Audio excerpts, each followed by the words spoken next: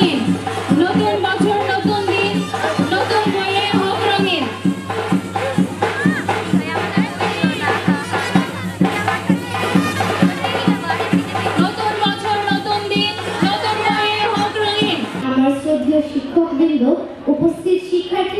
ও সুধী মণ্ডলী সবাইকে আজকের অনুষ্ঠানে সুস্বাগত ও প্রাণঢালা অভিনন্দন।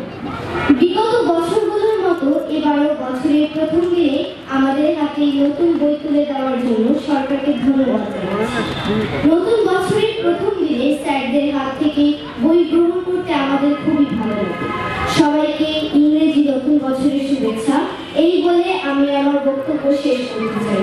সবাইকে আজকে এমন একটা জায়গায় পৌঁছেছি যে আজকে সারা বাংলাদেশে চার কোটি শিক্ষার্থীদের কাছে প্রায় নাই বা বললাম